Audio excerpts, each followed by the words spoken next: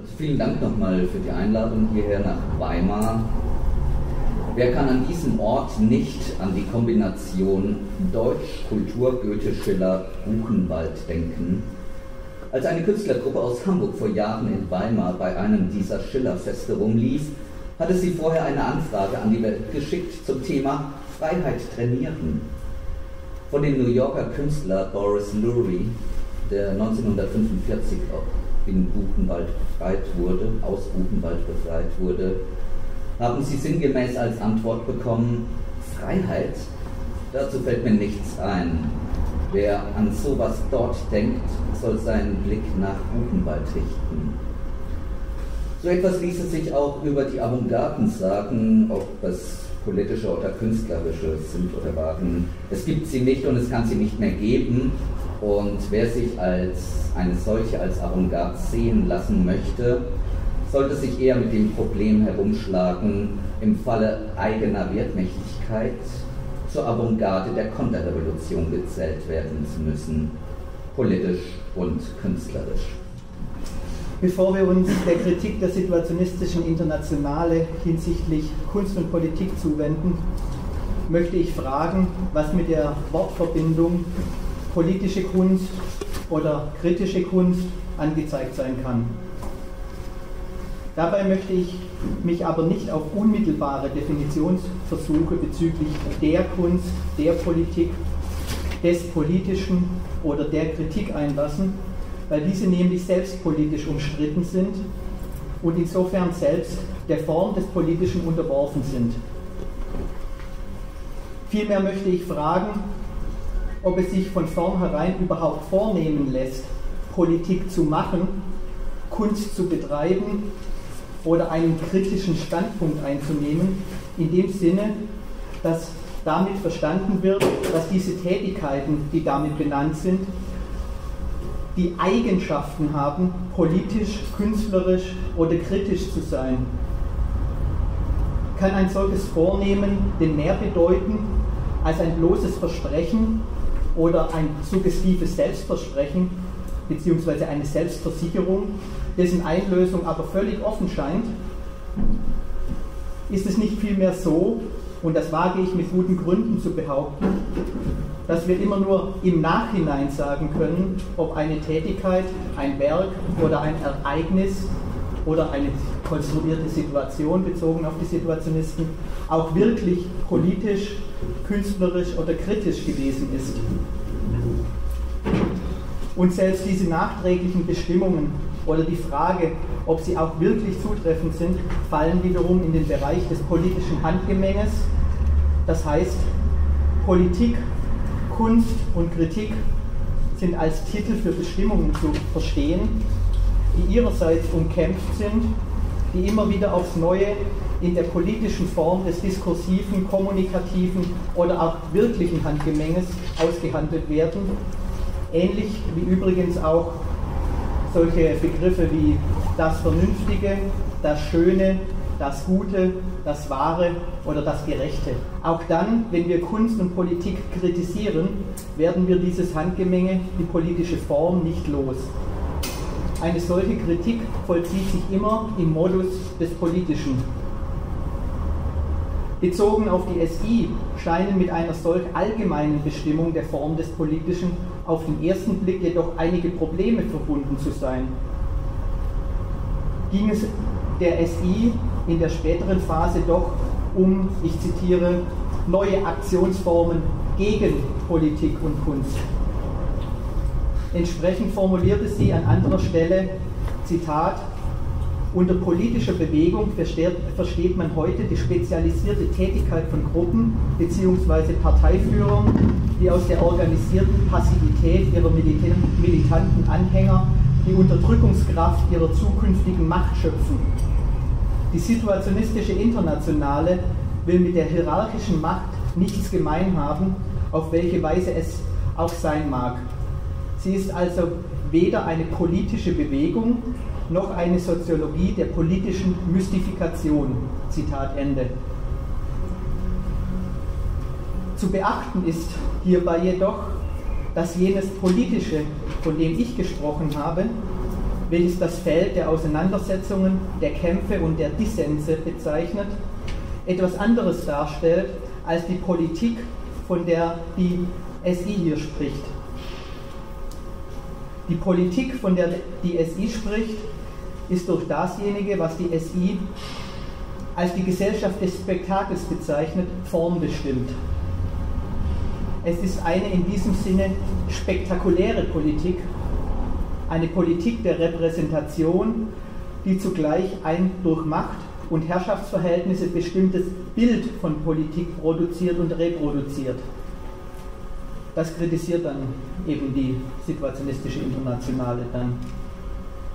Politik erscheint in der spektakulären kapitalistisch-bürgerlichen Gesellschaft als eine eigenständige Sphäre, nämlich als ein Bereich des Engagements, in dem sich spezialisierte Politmanagerinnen, wie zum Beispiel Partei- und Gewerkschaftsleute, Berufspolitiker oder auch engagierte Bürger tummeln. Auch in linksradikalen und autonomen Zusammenhängen sowie ebenfalls im Bereich der politisch engagierten Kunst finden sich etliche Leute, die bewusst oder unbewusst dort bestimmte Führungsqualitäten und somit ein Politmanagerinnen-Dasein ausbilden, erlernen und einüben. Politik und das Politikmachen stellt sich in einer spektakulären Form, das heißt immer auch in einer ideologischen Form, als getrennt vom alltäglichen Lebensbereich der Menschen dar und teilweise auch relativ getrennt vom Bereich der Ökonomie, der Wissenschaft und eben von der Kunst, welche der spektakulären Ordnung ebenfalls als ein getrennter Bereich erscheint, in dem sich Spezialistinnen und Spezialisten und Stars tummeln. An den Stars ist jedoch zu erkennen, dass jene Bereiche wie etwa Kunst und Ökonomie nicht komplett getrennt sind, sondern nur als getrennt erscheinen. Werden doch die Stars gehandelt wie jede andere Ware auch. Sie haben einen spezifischen Marktwert. Der Erscheinungsform der Trennungen liegt letztlich eine Klassentrennung ökonomischer und herrschaftlicher Funktionsträger und Trägerinnen zugrunde, die durch jene spektakuläre Ordnung jedoch verschleiert ist. Indem diese Ordnung und damit jene Erscheinungsform der Trennungen reproduziert wird, ist das Politische, von dem ich eingangs gesprochen habe, aber verdrängt oder ausgeblendet. Das Politische ist durch die spektakuläre Politik verhüllt. Insofern kann gesagt werden, dass die spektakuläre Politik eine Politik des Scheins und somit pseudopolitisch ist. Sie ist nicht wirklich politisch, sondern sie ist polizeilich, also eine Form der Aufrechterhaltung der spektakulären Ordnung.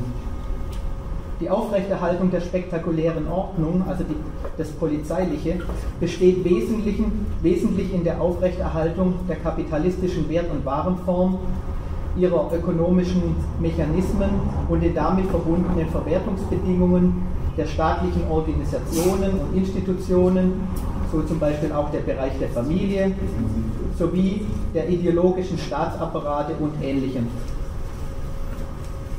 Alle subversiven Strategien schlagen unter der Formbestimmung des Spektakels entweder sofort ins Polizeiliche um, werden dort ausgeblendet oder sie modernisieren eben die Gesellschaft des Spektakels.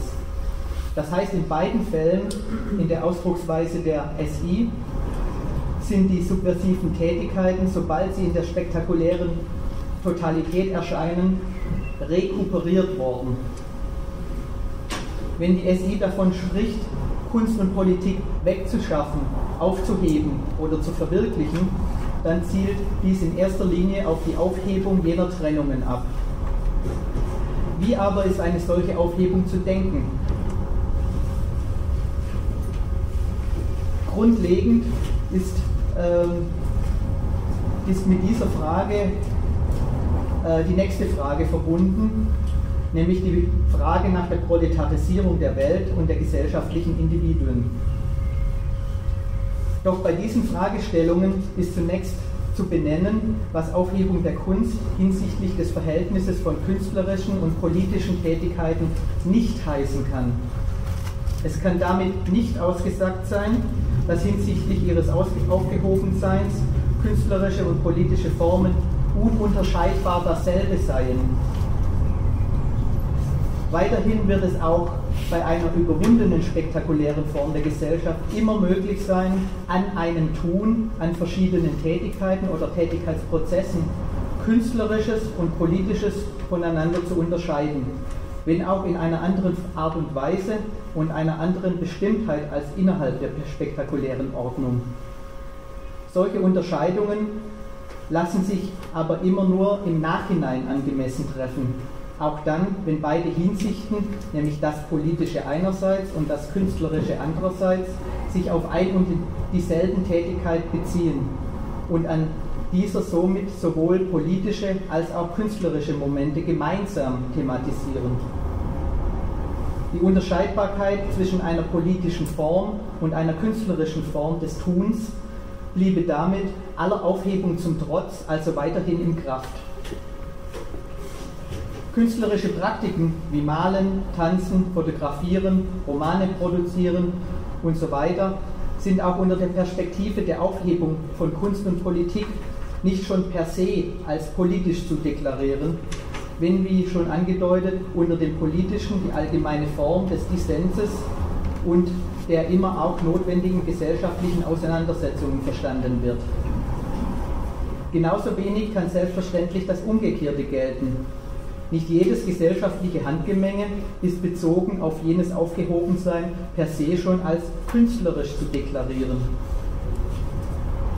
Aufhebung von Kunst und Politik als kritische Perspektive kann in begrifflicher Hinsicht und bezogen auf die Ausführungen der SI somit nur heißen, ihre getrennten Erscheinungen sowie den Schein ihres Getrenntseins, wie, sich, wie sie sich in der Form des Spektakels als separate Sphären darstellen, zu überwinden. Mit Hinblick auf die Gesellschaft des Spektakels und damit verbunden auf die kapitalistisch bestimmte Ökonomie der Wertvergesellschaftung, auf ihre Ideologie, ihre Staatsapparate und so und vor allem hinsichtlich der Proletarisierungsprozesse zielt die Forderung nach einer Aufhebung von Kunst und Politik, wie sie die, wie sie die SI verstanden hat, perspektivisch im Wesentlichen auf folgende Punkte ab. Erstens ging es der SI darum, den Bereich der verdrängten radikalen Bedürfnisse der proletarisierten Individuen ihre Begierden und Leidenschaften zur Sprache kommen zu lassen. Zweitens ist damit verbunden ein Abzielen auf eine, freiwillige, äh, auf eine freie Fähigkeitsentwicklung der Individuen jenseits der Proletarität, auf die freie Entfaltung ihrer wirklichen Individualitäten im Gegensatz zu ihrem Dasein als zurechtgestutzter Arbeitskraftbehälter, als vereinzelter Einzelner oder vereinzelte Einzelne oder als Geldmonaden. Nicht ein Mehr an Freizeit, in welcher die Individuen bloß ihre Arbeitskraft reproduzieren, sondern disponible Zeit, wie Marx das ausdrückt, also Zeit, die wirklich frei zur Verfügung steht, wäre diesbezüglich eine Voraussetzung für gesellschaftliche Individualitätsentwicklung, weshalb Lohnarbeit zu überwinden und Arbeit in Richtung einer Travail attraktiv, also einer anziehenden Arbeit, oder in Richtung spielerisch experimenteller Tätigkeit zu befreien wäre. Drittens stehen dafür unter anderem auch die Versprechen der bisherigen Künste. Sie wären für eine solche freie Fähigkeitsentwicklung heranzuziehen, da künstlerische Praktiken Medien für eine solche freie Fähigkeitsentwicklung der gesellschaftlichen Individuen sein können. Es gilt hierbei auch die fünf Sinne weiterzuentwickeln und bezüglich ihrer Form zu sublimieren, also zu veredeln. Die Versprechen der Künste ernst zu nehmen und sie einzulösen, wäre zugleich eine Befreiung der künstlerischen Tätigkeiten von den Regeln der bürgerlich oder vorbürgerlichen herrschenden Kunstnormen und eine Überwindung der bisherigen Form des Kunstbetriebes. Viertens, anders als im Surrealismus bedeutet bei der SI die Losung, die Kunst im Leben zu verwirklichen, nicht wie im Surrealismus die Poesie in den Dienst der Revolution zu stellen, sondern die poetischen Momente künstlerischer Praktiken geschichtlich zu retten, das heißt schließlich die surrealistische Parole umzukehren und die Revolution in den Dienst der Poesie zu stellen. Unter dem Blick der nachträglichen Bestimmungen können zwar bestimmte künstlerische Praktiken durchaus als Mittel einer revolutionären Politik gedient haben, aber nicht zum letzthinnigen Zweck einer revolutionären Situation oder revolutionärer Tätigkeitsprozesse, sondern zum Zweck der Poesie. Poesie ist für die SI der Titel für geäußerte radikale Bedürfnisse oder Begierden, die eben auf diese Fähigkeitsentwicklung äh, dieser gesellschaftlichen Individuen abzielen. Das Poetische ist somit die Äußerungsform, in welcher Tätigkeiten oder Werke stehen, in welcher sich radikale Bedürfnisse artikulieren, das heißt Bedürfnisse, die auf disponible Zeit abheben und auf freie Entwicklung individueller Fähigkeiten. Zitat von der SI. Das Programm der verwirklichten Poesie ist nichts weniger, als deren Ereignisse und ihre Sprache gleichzeitig und auf untrennbare Weise zu schaffen. Entsprechend ist es für die SI, Zitat, Poesie ist die Poesie nichts, wenn sie zitiert wird. Sie kann nur zweckentfremdet wieder ins Spiel gebracht werden. Also da ich jetzt nicht äh, vorhabe, poetisch zu sein, ist äh, das, was ich hier zitiere, auch kein performativer Widerspruch. Auch wenn eine solche Programmatik, das bezogen auf den Zivilisationsbruch Auschwitz hinsichtlich barbarischer Volksmordbegierden kritisch zu reflektieren wäre, worauf ja Stefan schon eingangs hingewiesen hat, und dass sich wenn es sich als ein Programm, wenn es als ein Programm interpretiert wird, außerdem relativ utopisch anhört, bleibt jedoch insgesamt zu beachten, dass es sich hierbei um begriffliche Maßstäbe handelt, die aus den Glücksversprechen der Kunst und der bürgerlichen Gesellschaft selbst entnommen sind und an denen sich das Gegenwärtige zu messen hat. Das heißt, ein solches Programm stellt keinen Utopismus dar. Weiterhin gilt, dass das politisch Sein oder po poetisch Sein sich nicht vornehmen lassen. Genauso wenig wie ein Revolutionär sein. In diesem Sinne spricht die SI auch davon, Zitat, dass es weder eine situationistische Malerei oder eine situationistische Musik, wohl aber eine situationistische Anwendung dieser Kunstmittel geben kann. Auch ging es der SI am allerwenigsten darum, sozusagen missionarisch, mit den Mitteln der Kunst die Welt verändern und das Leben ändern, wie der Surrealist André Breton in Anlehnung an Marx und Rimbaud gefordert hatte, sondern darum, Öl dahin zu bringen, wo Feuer ist, wie der späte De Boer sich ausgedrückt hat. Das heißt jedoch auch nicht, Feuer dahin bringen, wo Öl ist. Denn wenn kein Feuer da ist, schaffen auch die subtilsten künstlerischen Praktiken keine revolutionäre Situation, welche Marx als Situation bezeichnet hat, Zitat, die jede Umkehr unmöglich macht und die, und die Verhältnisse selbst rufen, hic rodos, hic salta. Das immer nur im Nachhinein und dabei auch nur im politischen Handgemenge bestimmt werden kann, ob etwas politisch, künstlerisch oder subversiv ist, beziehungsweise war, ist auch der Grund, warum eine gut gemeinte, engagierte Kunst sowie eine Politikform, die sich künstlerischer Praktiken bedient, wie wir sie etwa von den sogenannten Kommunikationsguerilleros her kennen oder von der Kunst des kreativen Straßenprotestes, beispielsweise politisches Straßentheater, Radical Cheerleading und äh, all solcher Sachen, die versucht von vornherein subversiv zu sein oder zu zündeln im Sinne von Feuer dahin bringen, wo Öl ist, hat letztlich immer etwas Tragisches an sich, wenn nicht gar etwas Peinliches. Mit dieser eventuellen Provokation möchte ich meinen Part nun beenden. Vielen Dank.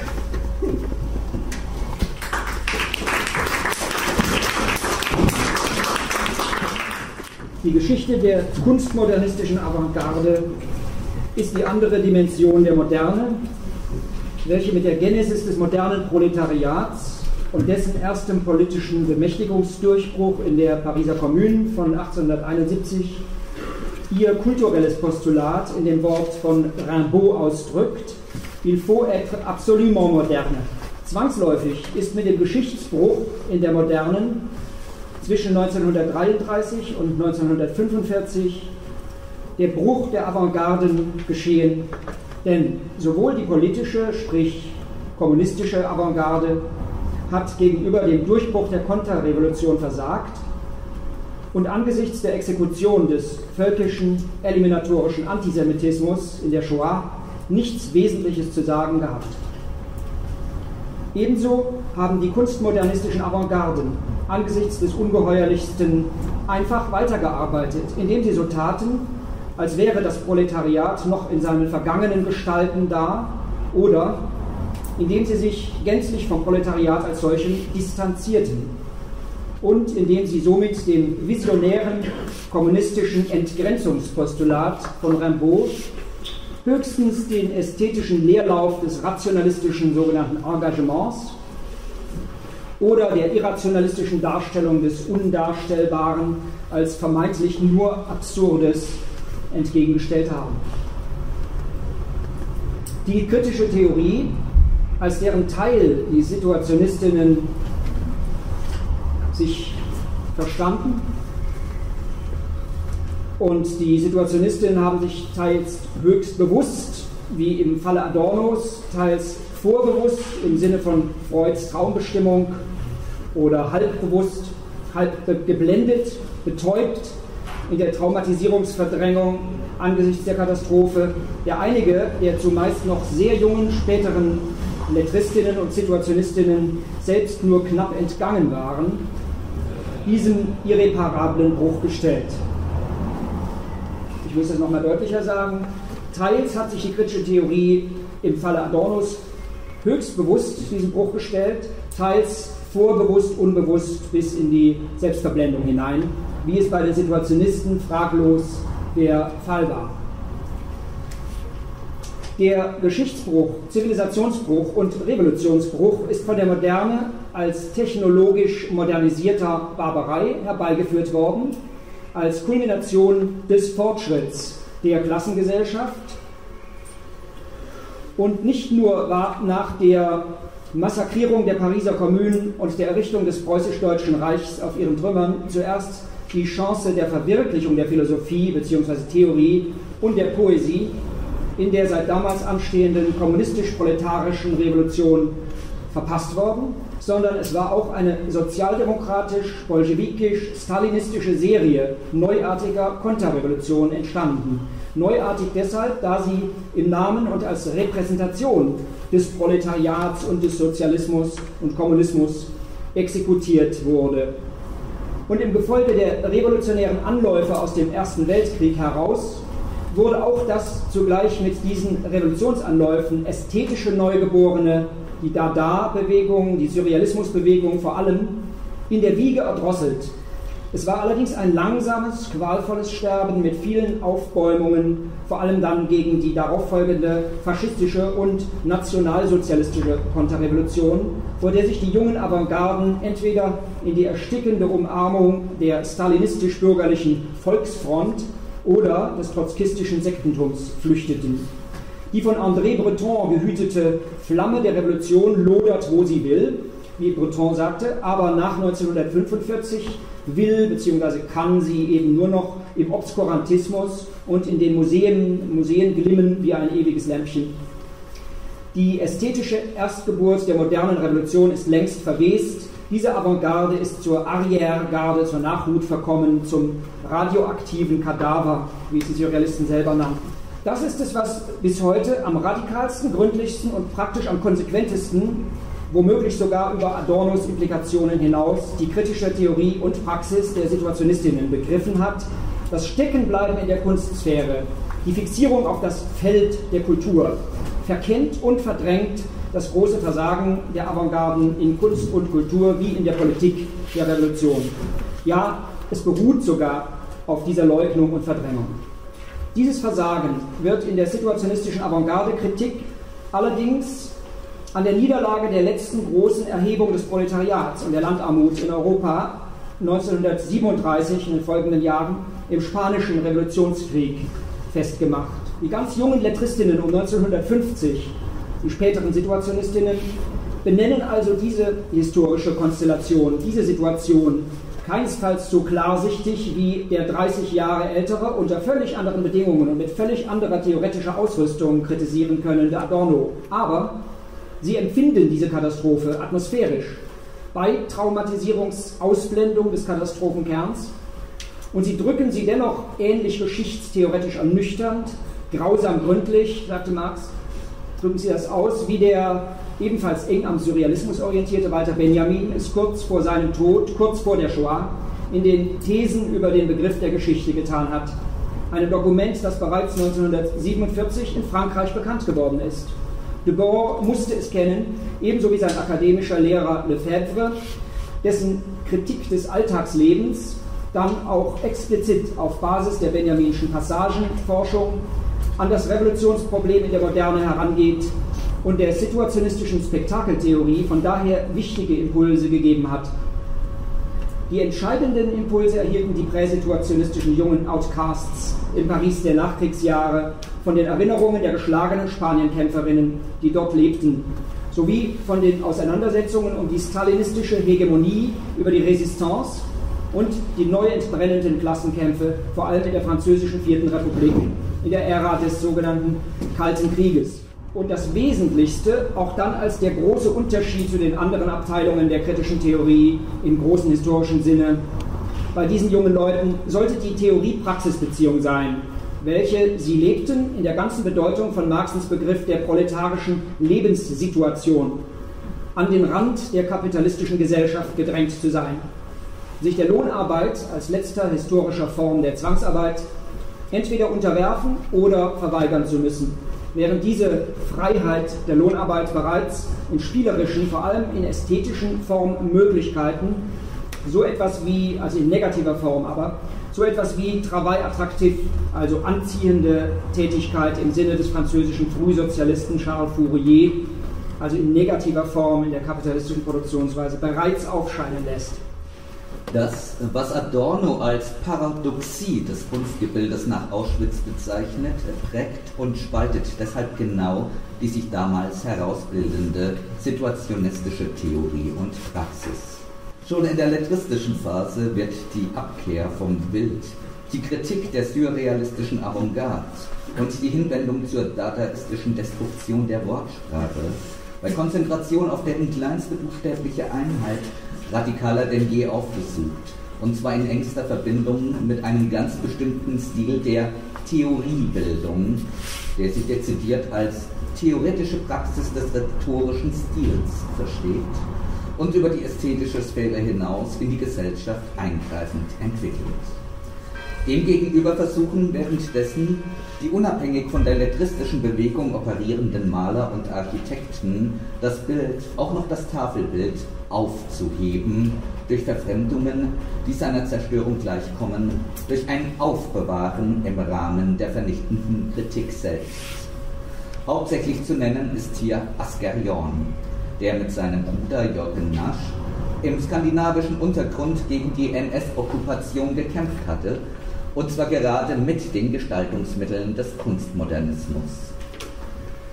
Bis zur Abspaltung der Künstler aus der situationistischen Internationalen ein Jahrzehnt später, um 1962-63, ist damit der Konflikt um die Bilderkritik der treibende situationistische Widerspruch. Und daraus erklärt sich die spezifische Aufhebungsanstrengung, die ebenso strittige wie unbestreitbare, uneingeholte theoretische Leistung der Situationistinnen für die kritische Theorie bis heute die Spektakelkritik. Also die Spektakelkritik können wir unmöglich hier auch nur in der Nussschale darstellen. Ähm, die eigentliche Steigerung der Kritik der politischen Ökonomie äh, dürfte als Fetischismus-Theorie mit der Spektakeltheorie ähm, in der modernen erreicht sein.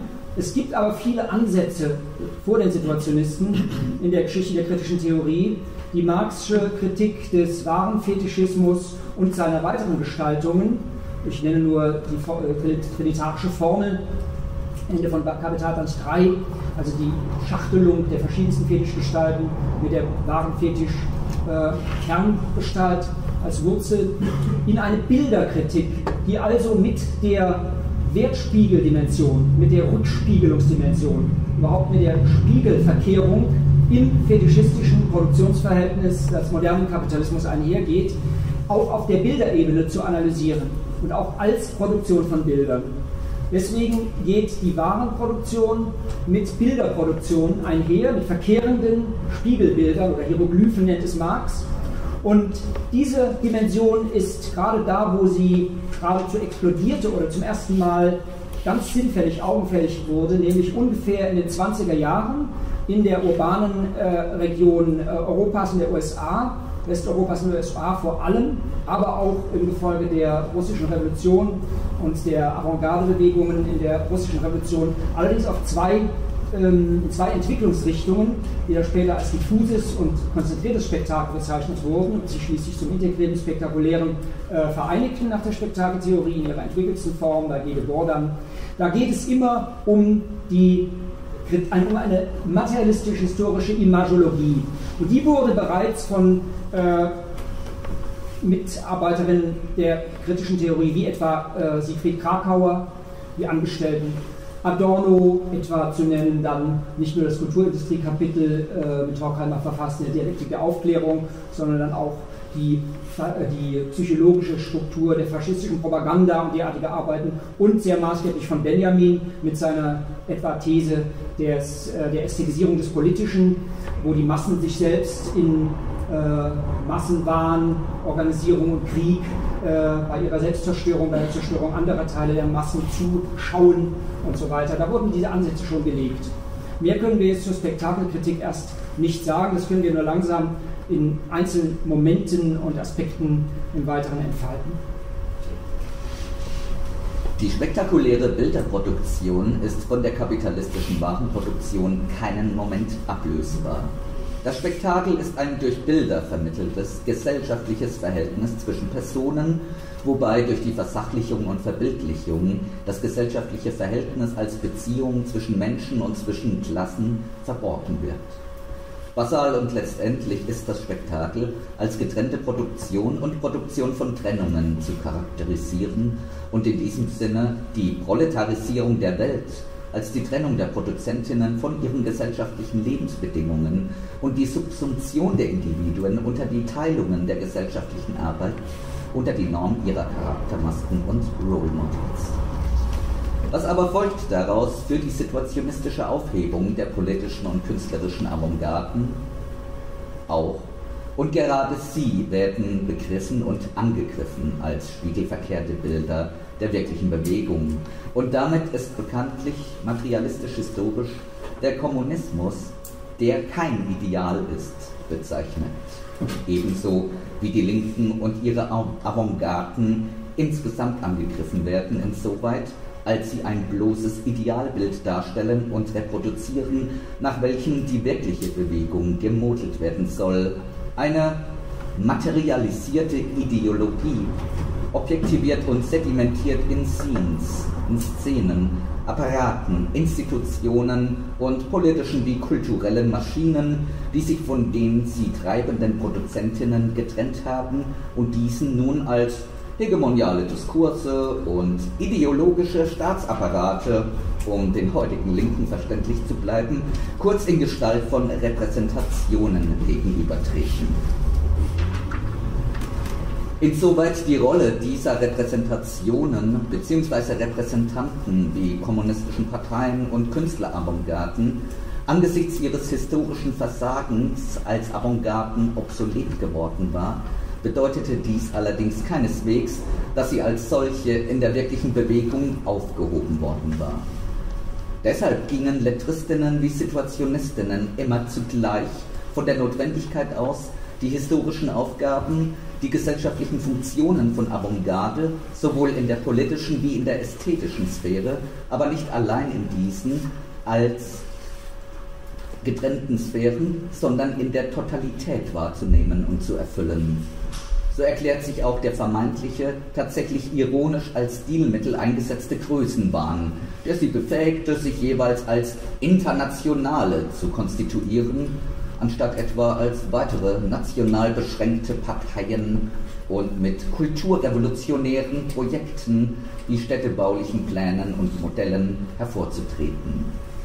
Gerade diese Projektemacherei der Künstlerphase der situationistischen Internationale von 1957 bis 1962 endete mit dem Abgang der Künstlerinnen als Professionals. Bezeichnenderweise wurde als offizielle Objektivation der situationistischen neuen Aktionsformen in Politik und Kunst, in Politik und Kunst, schließlich nur eine Entwendung oder Zweckentfremdung der Pop-Art realisiert. Dies war 1963 als Ausstellung von Anti-Kunst-Experimenten im Rahmen einer politischen Kampagne gegen das Atombomben-Schutzbunkerbauprogramm RSG 6 und erklärtermaßen als Bestandteil einer Zerstörungsbewegung gegen diesen Bunkerbau. Die Ausstellung der antikünstlerischen SI wurde selbst in einem Bunker in Dänemark platziert der kurz darauf mitsamt der meisten situationistischen Exponate von Armee und Polizei zerstört worden ist. Diese erste und letzte situationistische Entäußerung antikünstlerischer, postavantgardistischer Kreativität und Energie war 1968, äh, äh, vor 1968 war betitelt mit Destruction of the RSG 6. Zu diskutieren wäre genau, ob die SI durch ihren Aufhebungsversuch ins vermeintlich infantile Spiel auf dem Terrain der ästhetischen Objektivationen und, noch, und auch noch auf dem Terrain der politischen Agitation, wie Sie es in diesem Interview am Beispiel von Michel Bernsteins Reliefplastik nennen, der von Adorno theoretisch ausgesprochenen Paradoxie praktisch besser entsprochen haben dass Kunstwerke nun nicht mehr möglich, aber umso dringlicher nötig seien, soll der radikalsten Kritik am katastrophalen Bestehenden bzw. so weitergehenden adäquater Ausdruck geschaffen werden, solange keine revolutionäre Klasse des Bewusstseins dies tut. Die Besonderheit der Situationistinnen sehen wir in ihrem Theorie-Praxis-Bezug, der wiederum durch ihr eigentümliches Postulat des Vergessens ihr sozusagen Ausblenden, ihren Sprachstil der Auslassungen gekennzeichnet werden kann. Hinsichtlich der Geschichtstraumata, was einer Bilderlosigkeit fast gleichkommt oder sogar einem unbewusst, halbbewussten Bilderverbot angesichts dieser Traumata. Es ist das zäh festgehaltene oberste ethische Postulat der Situationistinnen, ähm, die Kohärenz. Das ist hier auch in, dieser, in diesem Dokument im Kern ein schwieriger, eigensinniger oder, um es mit Hegel zu sagen, außerordentlich harter Begriff, Kohärenz, der wiederum an ihrer Aufhebung der Avantgarde-Rolle deutlicher werden kann. Alle diese bisher besiegten Formationen oder Kontingente der Klassenkämpfe, von denen wir in dem Dokument vorher über die Ausstellung im Interview gehört haben, also die Rückkehr der äh, Bande Bonneau, so eine Art Robin Hood-artige Bande, glaube ich, in den 20er Jahren, die, der Sieg der Pariser Kommune, der Sieg der äh, Arbeiterräte in Budapest, ähm, der Sieg des Bauernkrieges und so weiter. Solche plastikartigen ähm, Pop-Art-Entwendungsreliefs, die alle zerstört worden sind. Alle diese bisher besiegten Formationen oder Kontingente der Klassenkämpfe, die hier äh, zitiert oder angerufen werden, des Klassenkrieges, sind keine Avantgarden mehr oder waren es nie, weder die Pariser Kommunardinnen noch die Bonneau-Bande. Sie stellen sich in der Gegenwart der Moderne als das Gegenteil dar, als das, was in der Kriegskunst schon bei Clausewitz als Enfant perdu bezeichnet wird, wörtlich verlorene Kinder, militärischer Ausdruck äh, als verlorener Haufen, für die Kontingente, die hinter den Linien der Sieger als eine Art versprengter Partisaneneinheiten von den Hauptlinien der eigenen Streitmacht abgeschnitten sind und doch deren keineswegs unbedeutender Bestandteil sind. Diese Enfants perdus sind also keineswegs Arriergarde oder Nachhut, Nachtrab, sondern sie operieren auf Leben und Tod auf dem vom Feind besetzten, beherrschten Terrain, Sie sind im Gegenteil gezwungen, alle Aufgaben der Avantgarde wahrzunehmen, so gut sie können, aber unter völlig neuen Bedingungen und auf eigene Faust. Also ohne einen Generalstab, der sie kommandiert. Die Situationistinnen bemühen oder entwenden sogar einmal ausnahmsweise den bekannten maoistischen Vergleich von dem Bild, äh, das Bild von den Fischen im Wasser. Denn die zunächst gegebenen, also die, die äh, kämpfenden Kontingente müssen sich in der Bevölkerung wie die Fische im Wasser bewegen können. Denn die zunächst gegebenen Trennungen von den weniger bewussten, das heißt wenig oder gar nicht auf die Praxis der Theorie oder theoretische Praxis hin organisierten Leuten, die Trennung innerhalb der Klasse der Proletarisierten und Pauperisierten gilt es allererst zu beseitigen. Diese Aufgabe versuchten die Enfants perdus der SI zu lösen durch eine ganze Konzeption und Technik des Anknüpfens und Ansetzens am gesellschaftlichen Unbewussten wie Vorbewussten, also an dem, was Walter Benjamin das Traumkollektiv nannte oder den Traumschlaf des Proletariats. Die Situationistinnen nannten dieses Ensemble von Techniken diese, die Kohärenz des materiellen und kulturellen wie psychomentalen Lebensprozesses, das sind äh, Terminus von, von Marx, Lebensprozess, in der erlebten Totalität des kapitalistischen Überlebensalltags zur Geltung zu bringen, also dieses Ensemble von Techniken, diese Kohärenz zur Geltung zu bringen, nannten sie Psychogeografie. Diese Kohärenz wäre die wahrhaftige Darstellung, Ausdruckgebung der Wirklichkeiten und Möglichkeiten, der realistischen Dynamis einer verlogenen, sozusagen gefälschten, in den Bildern der Gesellschaft des Spektakels verkehrt abgespiegelten und verflüchtigten Totalität. Schon die hier kurz vorgestellten Antibilder der Destruction-Ausstellung sind psychogeografische Vergegenständlichungen, indem sie die Irrrealität der geschichtlichen Möglichkeiten als vorerst nur ästhetische Verwirklichung der Träume vom Sieg der Pariser Kommune und so weiter evozierten. Damit beseitigen sie zugleich im Akt einer Rezeptionstotalität die Trennung der gegenwärtigen von jenen noch immer von der Geschichte abgehängten, verlorenen Kontingenten des weitergehenden Klassenkriegs. Das Unabgegoltene der Kämpfe jener Vorläuferinnen wird in die Kohärenz mit dem Unabgegoltenen der immer noch klassengesellschaftlichen Gegenwart gebracht. Eine momentane aktualisierende Diskontinuität, eine Stillstellung des Geschichtsverlaufes der Sieger der herrschenden Klassen wird zu Träumen spielerisch, aber doch in hellwacher, ironischer Bewusstheit hergestellt. Sie soll nicht von Dauer sein, sie ist nicht für die Museen bestimmt, sondern wird irgendwann vom Feind zerstört oder rekuperiert. Sie ist nicht in einer Sphäre wie der Kunst, Kultur oder Politik festzuhalten. Ihre Experimente können vielleicht als Anregung dienen oder als zu korrigierende, aktualisierende Plagiate, aber wiederholen lassen sie sich nicht. Die SI hat sich dann auch rasch über diese Experimente hinaus bewegt.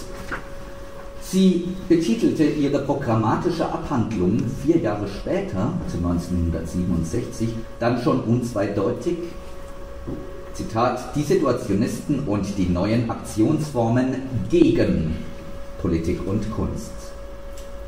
Ab Mitte der 1960er Jahre wurden verstärkt Comic-Zweckentfremdungen eingesetzt. Das Hauptgewicht lag auf dem Wort der Vermittlung zunächst purer Theorie Destruktiv-negatorische und provokatorische Aktionsformen traten mehr und mehr in den Vordergrund.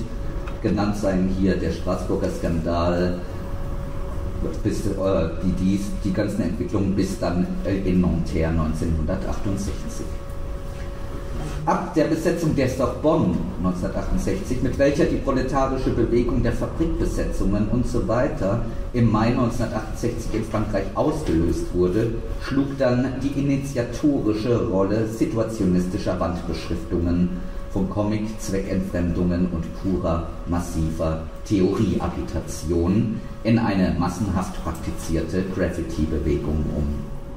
Insgesamt verschob sich die experimentelle ästhetische Praxis oder Antikunstpraxis der SI immer entschiedener weg vom Bild hin aufs geschriebene Wort. So können wir zusammenfassen. Mit dieser Entwicklung ging aber eine Ausdehnung der Alltagskritik in der Form der Architekturkritik und des sogenannten unitären Urbanismus oder unitären Anti-Urbanismus auch genannt, sprunghaft seit 1963 einher. Diese ist wieder nur mit der Psychogeografie zu erklären, deren Konzeption und Formen hier leider nicht im einzelnen Gegenstand unserer Darstellung sein können. Vielmehr muss nun das Bild der SI selbst, ihr gefährliches Spiel mit den Spektakeln in ihrer Zeit überprüft werden und schließlich ihre Selbstzerschlagung 1972 erklärt werden weil die Situationistische Internationale zuletzt selber zum spektakulären Bild von einer vermeintlichen Avantgarde geworden ist. Fassen wir vorläufig zusammen. Die Psychogeografie ist jede situationistische Methode, mit welcher angesichts des wirklichen geschichtlichen Bruchs, angesichts der wirklichen Diskontinuität von Avantgarde eine kommunistische, wie sie sich selber bezeichnete, Theoretiker- und, Ex und Experimentatorengruppe im Proletariat die Avantgarde-Funktion aufzuheben versucht, weil sie sowohl in der alten Form unmöglich als auch in einer noch zu findenden Form mehr denn je notwendig ist. Vernichtet werden muss Avantgarde als getrennte Organisierung, als politische Repräsentation der Klasse, als künstlerische Sphäre der Bilderproduktion. Die falsche Kontinuität, den mythischen Leerlauf der Waren als Bilder, Bilder als Waren, muss sie stillzustellen versuchen. Als Enfant perdu können die Theoretikerinnen, die Experimentatorinnen mit dieser Stillstellung beginnen, indem sie einzelne spektakuläre Bilder zerstören, sprengen, mit der strategischen Absicht und Konsequenz, dass das Gesamtselbstporträt der kapitalistischen Warentotalität durch die ungeheure Mehrzahl selbst, im Interesse der ungeheuren Mehrzahl, als Klasse des Bewusstseins gesprengt werden kann. Die Situationistinnen, die situationistischen Neokommunistinnen nennen diese Strategie Konstruktion von Situationen. Alle zu konstruierenden Situationen im Alltagsleben haben die strategische Ziel- und Zweckbestimmung, das zu konstruieren, was Marx die moderne Revolution nennt. Das heißt, weiter Marx, bis die Situation geschaffen ist, die jede Umkehr unmöglich macht. Die Geschichte der klassengesellschaftlichen Trennungen, so das wären Trennungen zwischen Ökonomie, Politik, Rechtsstaat und Kunst, Kulturwissenschaften, die Trennung zwischen Praxis und Theorie und, dies kann heute hinzugefügt werden und gegen dem Bewusstsein und der Praxis der Situationisten fast gänzlich ab, ganz basal natürlich die Trennung des menschlichen Geschlechts entlang Sexes, Genderfixierungen, die Subsumption der Individuen unter die Normen dieser Trennungen, diese gesamte Trennungsgeschichte versuchen die Situationistinnen aus dem Hier und Jetzt des lohnabhängigen Überlebensalltags heraus theoretisch in Frage zu stellen und partiell in antispektakulären Situationen praktisch zu unterbrechen, zu durchbrechen. Dabei entwerfen sie eine Taktik der Stützpunkte, die sogar mit dem Katastrophismus spielt. Die Frage, was geschieht in den ersten Minuten und Tagen einer Revolution, wenn die Theorie zur materiellen Gewalt wird, sobald sie die Massen ergreift? Oder situationistisch formuliert, wenn die theoretische Praxis zur Theorie der Praxis großer proletarisierter Menschenmassen wird, wenn die Praxis der Theorie in Theorie der Praxis umschlägt, diese Frage ist vom Proletariat in Frankreich im Mai 1968 anders beantwortet worden, als sie in Deutschland je beantwortet worden ist oder beantwortet würde. Die kritische Theorie Adornos und die der Situationistinnen ist von diesem Unterschied zutiefst geprägt. Nach allem, was an Kritik an den existierenden historischen Avantgarden äh, bereits von der SI geleistet worden ist, muss das irritieren. Äh, es kann nur dann äh, begriffen werden, dass dieses Wort hier relativ umstandslos eingesetzt wird, von Guy Debord in dem Fall und Sanguinetti.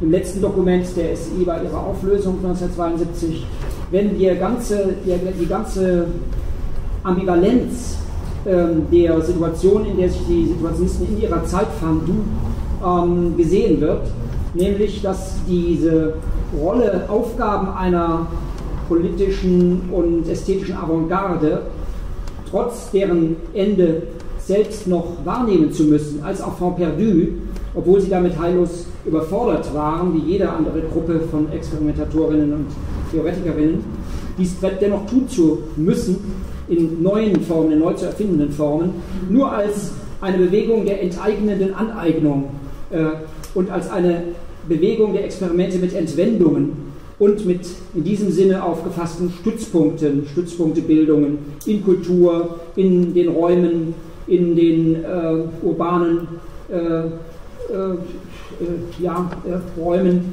wie etwa auch fliegende Universitäten und äh, Untergrund. Äh, ja, Universitäten nennt man es ungern, aber die Studentenbroschüre der SI bezog sich darauf, dass es so etwas in den USA gegeben hatte, die Broschüre über das elende Studentenmilieu und versuchte diesen wiederum zu entwenden gegen Universität äh, als einen Teil des Staatsapparats. Dies alles in einer Beschleunigung der Konstruktion von Situationen gefasst, strategisch, zugleich als Stillstellung äh, im Sinne von Walter Benjamins Notbremse, äh, eine Produktionsweise, die sich ähm, als Barbarisierung und Technisierung zugleich über, zu überschlagen droht und überschlug. Es war ja in der Phase des Kalten Krieges, Kuba-Krise und, und eben ständige gegenseitige Mutual Assured Construction, nannte man es später, äh, atomare Vernichtungsdrohungen der beiden Blöcke äh, kapitalistischer Macht. Und in dieser Situation ist zu überprüfen, ob in der Strategie der Bemächtigung die sozusagen eine Avantgarde dem Proletariat vorschlagen muss, eine Avantgarde, die keine sein kann, ähm, und in einer Bewegung, wie sie dann im Mai 68 tatsächlich als eine blitzartige, kann man sagen, Bemächtigung aus dem Nichts scheinbar heraus der großen Schlüsselzonen äh, der französischen Wirtschaft äh, Wahrheit zu werden schien, Wirklichkeit zu werden schien, dass die, dies einen Widerspruch bezeichnet zwischen der Notwendigkeit der Stillstellung als Griff nach der Notbremse im Walter Benjaminschen Sinne und als eine Strategie der Beschleunigung zugleich. Wie ist das zusammenzudenken? Das Problem, dass uns also beide Varianten kritischer Theorie, die Adornosche und so weiter, ähm, und Theorie und Praxis wie die situationistische hinterlassen und sich und uns gestellt haben, dieses Problem ist also mit dem Problem der Stillstellung zu bezeichnen, in der geschichts- und revolutionstheoretischen Fragestellung und mit der ästhetisch-begrifflichen Fragestellung, was die von Benjamin gefundene Formulierung das dialektische Bild zu konstruieren, als revolutionäre Methode, nicht irgendwie ein Bild, ein anderes Bild, sondern als eine Methode, die Konstruktion des dialektischen Bildes, welche Destruktion voraussetzt. Was das vor allem als Methode von Theorie und Praxisverbindung äh, äh, bedeuten kann, der Theorie und Praxis Situationen zu konstruieren. Es gibt hier ähm, zwei Richtungen eine gut gemeinte, anarchistisch gegen das eherne Gehäuse im Sinne der Staatlichkeit gerichtete, ähm, eher Pseudodialektik aus Mythos und Logos, ähm, die aber beide nicht äh, aufheben kann in der Kritik der Dialektik der Aufklärung ähm, erreichen kann, wie sie einmal gesetzt war, und auch nicht als Mythoskritik. Der Mythos ist der Todfeind, wie Walter Benjamin es vor allem im Passagenwerk auch bezeichnet hatte der, der, aus dem der Wahrheitskern sozusagen durch äh, Sprengung des Lügenmantels äh, herauszusprengen sei. Äh, da gibt es äh, sehr äh, wenige Vermittlungsversuche heute, äh, in der Politik sowieso nicht, aber in der, in der Kunst- und Kultursphäre kann man lange danach suchen, dass überhaupt begriffen wird, was das Problem ist. Und dies aufzuheben in der Methode dialektisches Bild, bedeutete, und darauf haben die Situationisten sich auf ihre Art auf jeden Fall eingelassen, es bedeutet Theoriepraxis als Domäne der Gefahr.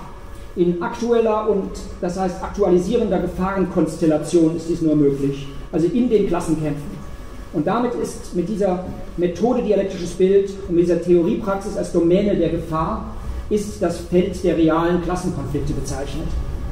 Wie wir sahen, haben die Situationistinnen das Ungeheuerlichste der Geschichte gewissermaßen in einen blinden Spiegel gebannt, indem sie die Geschichte der Klassenkämpfe vor und nach ihrem Bruch, vor und nach der Chiffre Auschwitz, die diesen Bruch bezeichnet, durchaus als gebrochenes Kontinuum behandelten, aber die genaue Bruchstelle, diesen Abgrund, Absturz der ganzen Gattungsgeschichte und der Moderne, der Revolutionsgeschichte selbst ausblendeten, um mit dem Blick hinein nicht der Lähmung zu verfallen.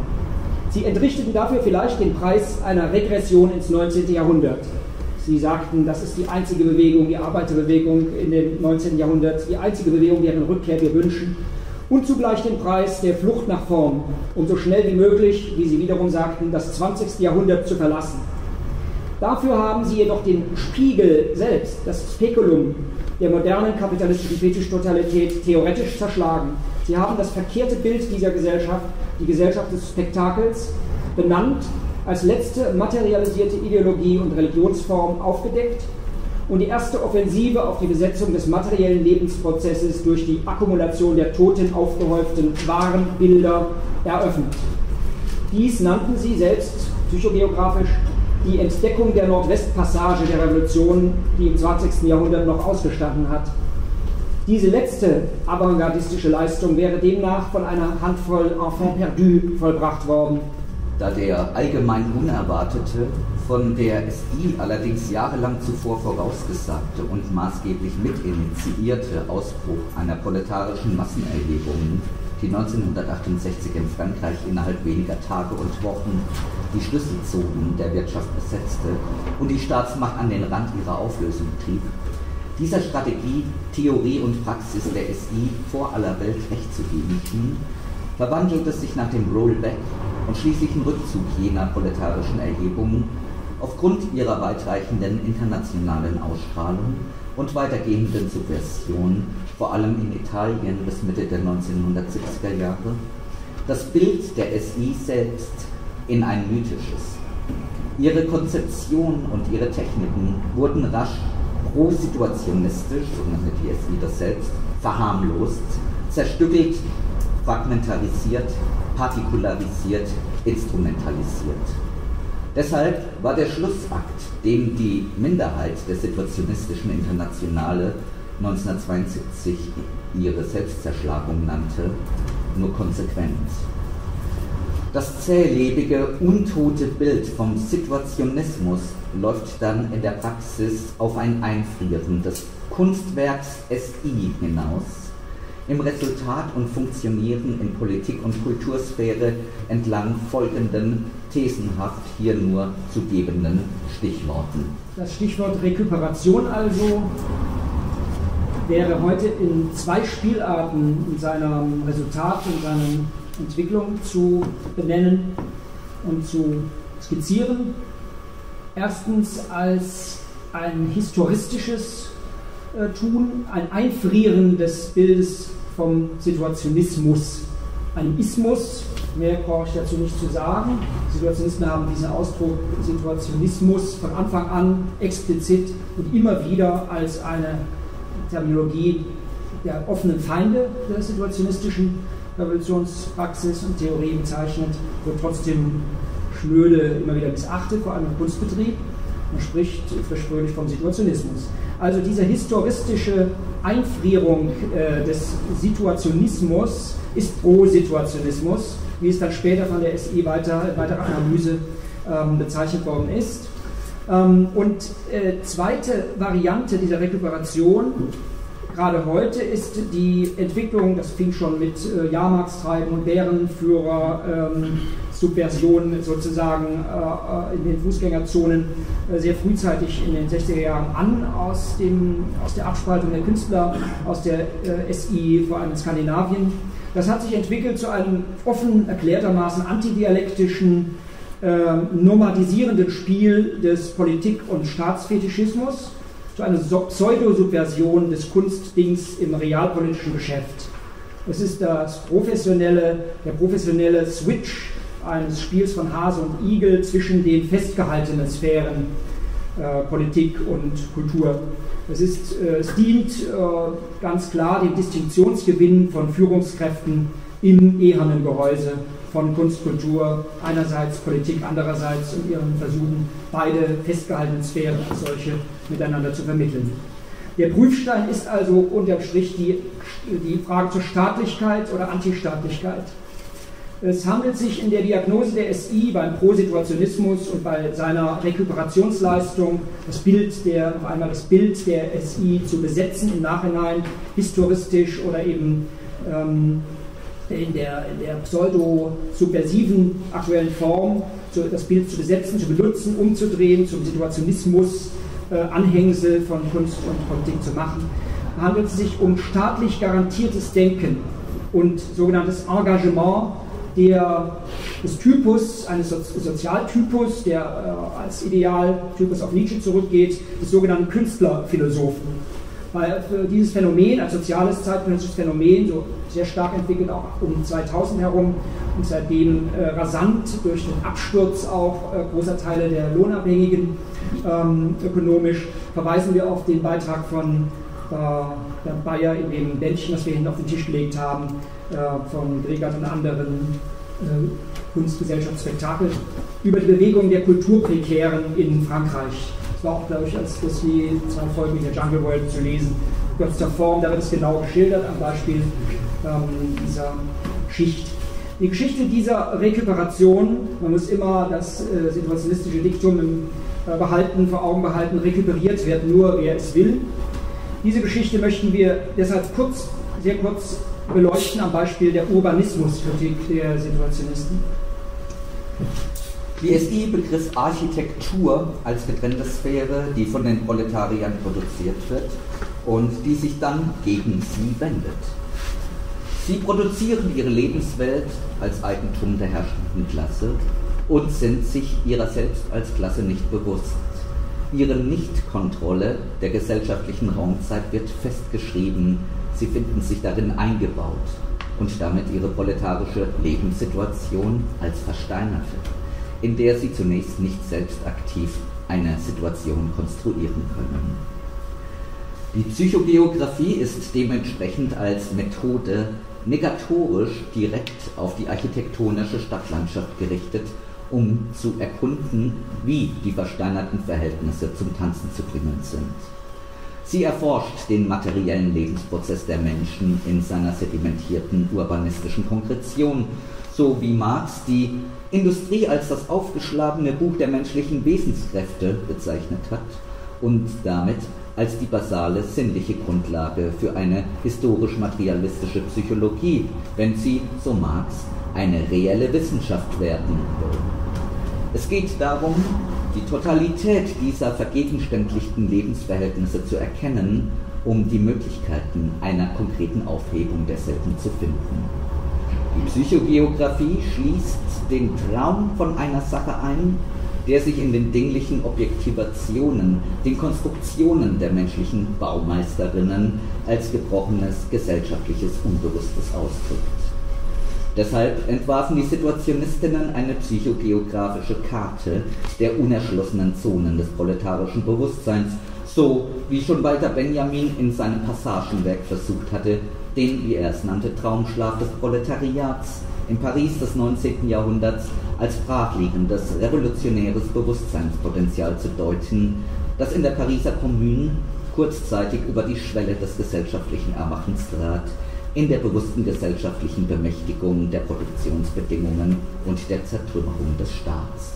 Damit nahm also die situationistische Internationale wieder auf mit diesem psychogeografischen Programm, das jetzt öfters erwähnt worden ist, ohne dass wir im Einzelnen darauf eingehen dürfen, ähm, nahm sie wieder auf, woran bereits in der, in der Urbanismuskritik oder in der nach vorne treibenden urbanistischen Theorie und Praxis der SI als unitären Urbanismus äh, bereits äh, Anfang, Mitte der 50er Jahre eines der SI-Gründungsmitglieder, der späteren SI-Gründungsmitglieder Asker Joron gearbeitet hatte, das Mouvement pour une, wie heißt es, äh, Mouvement International pour un Bauhaus Imaginiste, also die äh, internationale Bewegung für ein imaginistisches Bauhaus. Ähm, hier kann nur kurz skizziert werden, erwähnt werden, dass diese dieser Bezug ähm, auf das Bauhaus ein unglücklicher äh, blieb, in dem Maße, wie die wirklichen Erneuerer oder Fortsetzer der Bauhaustradition um Max Bill damals, so sahen sich jene, ähm, konstant, äh, äh Kontaktaufnahmen zu den damals vor allem in Skandinavien ähm, weilenden und aktiven Situationisten im Askerion und äh, sie dazu aufforderten, äh, eine gemeinsame Aktivität zu entwickeln, um, eine, um diese Bauhaustradition nun in modernisierter Richtung auch subversiv aufzunehmen. Aber gerade das war eine Illusion. Es handelt sich nur eine, nicht um eine subversive äh, Neuerfindung der Bauhaustradition in imaginistisch, das heißt quasi psychogeografischer Richtung, sondern es handelt sich nach, der nach der, dem Eindruck, den Ascalion und andere von Max Bills Auffassungen hatten, um einen Funktionalismus und einen extremen auf Technologie und man könnte sagen Technokratie Vorstellungen verpflichteten ähm, äh, Stilwillen, der dort äh, Gestalt annahm. Äh, die Vorstellungen auch eines ähm, Bauhaus Imaginist, wo es keine Rollen von Lehrern und äh, Studierenden gibt, wo alle, die daran äh, mitarbeiten sollten, zu bestimmen hätten, was geschieht und das äh, ähm, ausdiskutieren und umsetzen, wurden auch in diesem Max-Billschen Konzept nicht berücksichtigt, nach Auffassung von Ascalion, sodass das scheiterte. Und äh, schließlich war aber auch ein, äh, ja, der Punkt wäre gewesen, dass die Kreativität, die in der Ascalionschen Vorstellung die Hauptrolle spielte bei der Aufhebung von Kunst, dort überhaupt keine Chance gehabt hätte ähm, in der Max-Billschen ähm, ja, äh, Konzeption. Ähm, die zweite SI, die etwas später entstand, also zehn Jahre später kann man etwas sagen, 1963, die skandinavische, wo Ascarion schon auch keine Rolle mehr spielte, äh, aber der Bruder von Ascarion, Jürgen Nasch, ähm, hat sich dann, hat dann die Kreativität wiederum in eine sehr äh, neokünstlerische Richtung zu führen versucht, hatte auch keine lange Lebensdauer und wurde von der Situationistischen Internationale ähm, ähm, die weiter in eine äh, antikünstlerische Richtung damals sich entwickelte, einfach als, die National, als Nationalsituationismus äh, bezeichnet. Die Gruppe Spur äh, äh der Schwabinger, hauptsächlich Schwabinger ähm, Künstler und Maler, die sich mit dieser zweiten äh, situationistischen Internationale fusioniert hatten oder auch eine treibende Kraft dafür waren, wurden ebenfalls damals Anfang der 60er ausgeschlossen. In den Jahren des Übergangs von ihrer künstlerdominierten zu ihrer revolutionären Phase machte die SI in Amsterdam 1959 äh, ihr Büro für einen unitären Urbanismus auf, das Anfang der 1960er Jahre in Brüssel die situationistische Kritik des Urbanismus auf Grundlage eines Elementarprogramms ausarbeitete. Die Konzeption des Derive, La Derive, das Umherschweifen könnte man es übersetzen, als antizipatorischer Forschungs- und Lebensweise revolutionär assoziierter Menschen in Zeiten einer Windstille der Klassenkämpfe in der urbanistischen Moderne. Diese Konzeption äh, geht maßgeblich zurück auf den Lettristen und Situationisten Gilles Yvain, auch äh, dem Namen Ivan Steglow bekannt. Und äh, diese Psychogeografie-Konzeption als Derive äh, wurde in dem Bericht über den Urbanismus 1953 von ihm zum ersten Mal ähm, umfassend formuliert. Ivan Steglow oder Gilles Yvain gilt als Erfinder dieses Zugangs zu der Nordwestpassage der Revolution in psychobiografischer Dimension. Für die Lettristinnen wie für die späteren Situationistinnen formulierte er wegweisend, der Ausgangs, Zitat, der Ausgangspunkt des Traumes liegt in der Wirklichkeit und in ihr verwirklicht er sich. In diesem Kontext bedeutet Konstruktion von Situationen das Experimentieren in dieser Richtung als bewusstes Kollektiv. Was natürlich an Grenzen stößt, wir reden über die Sphäre der Architektur äh, in den Stadtlandschaften, ähm, weil der Raum von den Polizeikräften letzten Endes von der Staatsgewalt beschützt wird. Er wird aber auch schon zugerichtet durch den Blick der herrschenden Klasse, allein schon durch die Organisierung dieses Blicks, auch technologisch, einer Klasse, die über die technologischen Mittel zur Selektion der raumzeitlichen Informationen verfügt. Wie du den Raum siehst und was du siehst, hängt von den psychogeografischen Aneignungsbedingungen im Klassenkonflikt ab. Wir nennen hier nur, möchten es aber nicht näher ausführen, das Stichwort Augmented Reality als eine solche neue Technologieform. Wir benennen es als Beispiel für Rekuperation von oben, also die Vermessung, Durchleuchtung, Durchdringung der Räume im Sinne der Überwachung im umfassendsten Sinn. als Rekuperation von unten jetzt nur kurz einige thesenhafte Stichworte zur sogenannten Antiglobalisierungsbewegung.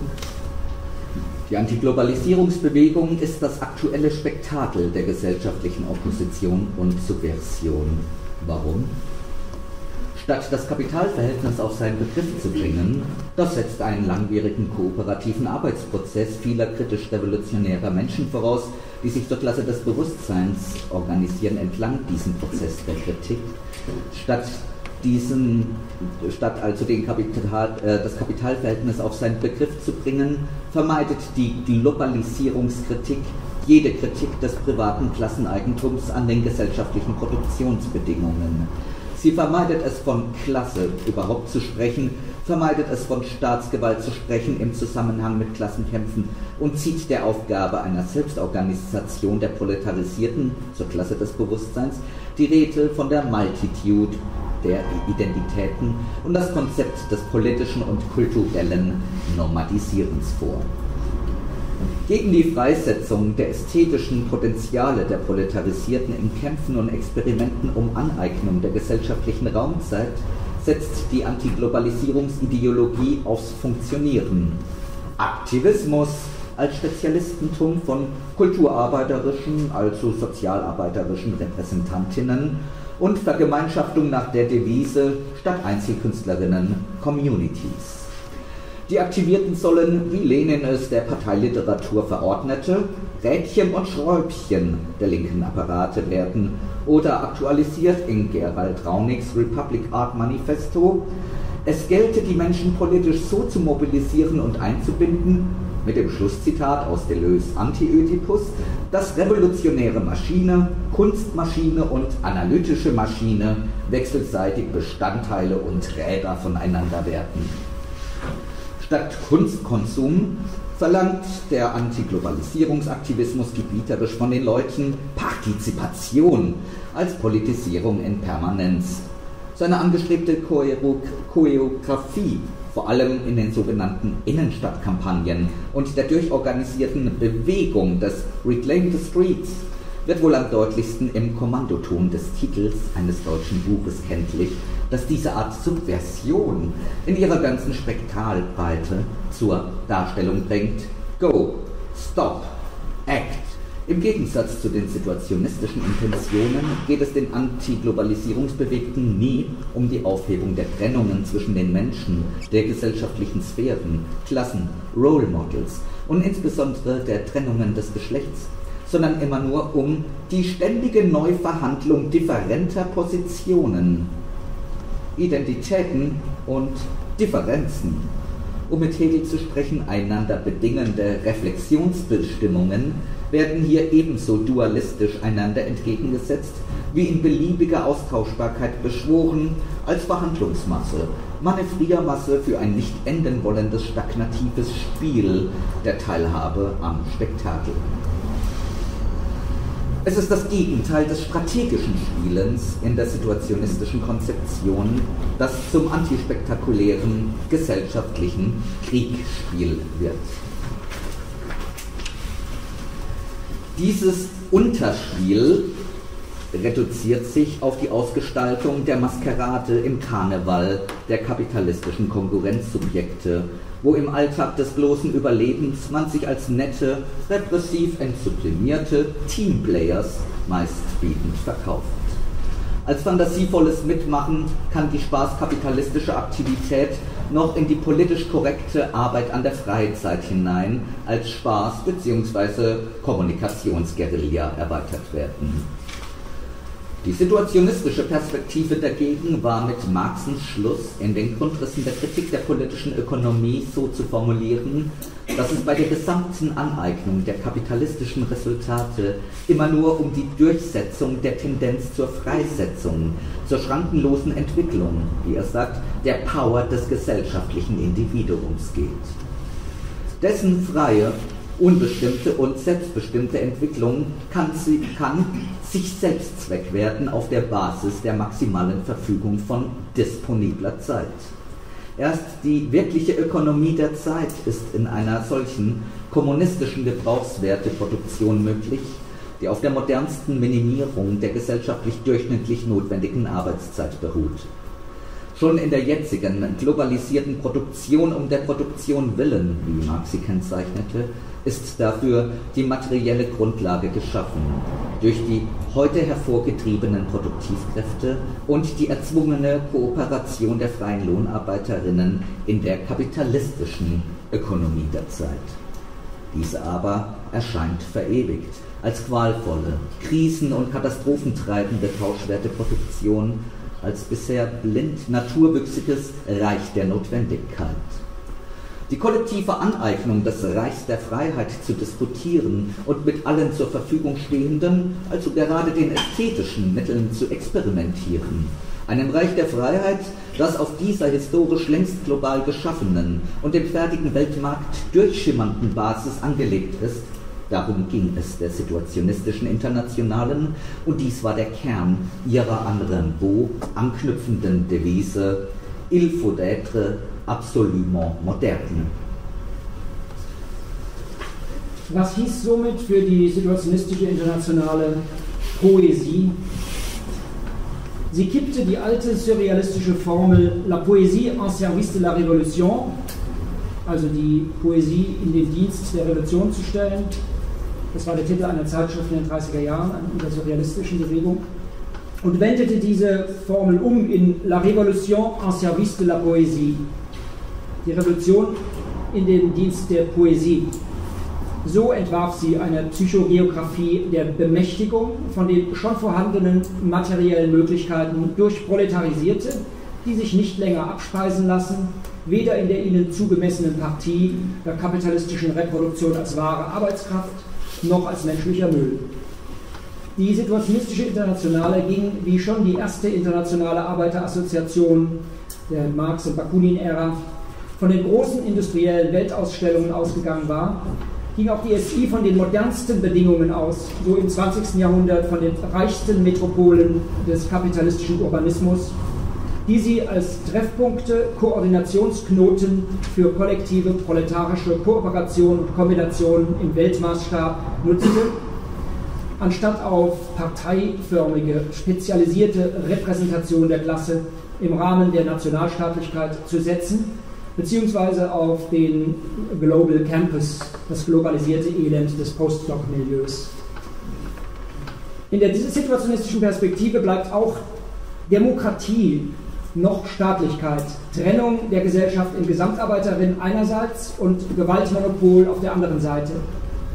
Trotz des situationistischen Postulats totaler Demokratie in den Räten als Verkehrsform der Herrschaft der Arbeiterinnen und Räte und schon ihrer Keimform, die man schaffen muss, der Räteorganisation, kann die Poesie für sie nie im Rahmen von Demokratisierung bis ans Ende, wie Lenin es genannt hatte, stehen bleiben. Denn dann würde die Revolution, die, wie Marx und die Situationisten es gleichermaßen nennen, die Revolution, die nichts außerhalb ihrer selbst lassen kann, vor der Selbstaufhebung der Proletarität, der letzten Klassentrennung der Gesellschaft Halt machen. Sie würde immer noch bürgerlich bleiben, Vielmehr entfaltet sich die situationistische Perspektive erst in der antipolitischen Übergangsperiode, die laut Marxens nüchterner Feststellung, Zitat Marx, nichts anderes sein kann als die revolutionäre Diktatur des Proletariats. Marx, Zitat Ende. Das heißt ein mehr als demokratisches Gemeinwesen, wie die Kommunen, die, wie Engels mal feststellte, schon kein Staat im eigentlichen Sinne mehr war. Da diese Form der Macht der, die Situationisten es dann nannten, der generalisierten Selbstverwaltung von Anbeginn antinational, antistaatlich, radikal kosmopolitisch ist, kann sie die schon im Weltmarkt entstandene Bedürfnislage nach tauschwertloser, geldloser Aneignung des ungeheuren Reichtums überhaupt erst über die basalen Bedürfnisse hinaus in die ästhetische, poetische Dimension der Lebensgenüsse des Erlebten weitertreiben. So handelt es sich bei Marx schon in der ganzen Geschichte um die Entwicklung der fünf Sinne. Und das, darauf hat die, die situationistische Internationale immer gesetzt. Nicht eine Diktatur über die Bedürfnisse, wie ähm, treffend das äh, System des sogenannten realen Sozialismus bezeichnet worden ist, sondern eine Diktatur der radikalen Bedürfnisse selbst über das Reich der Notwendigkeit zum Zwecke der schrankenlosen Befriedigung der menschlichen, individuellen und gesellschaftlichen Begierden und Leidenschaften selbst. Diese Wendung der marxischen Formel konnte die situationistische Internationale schon einmal in ihrer Zeit durch ihren ganzen poetischen Stil aufscheinen lassen, was bis heute ihre Ausstrahlungskraft ausmacht. Danke für eure Geduld.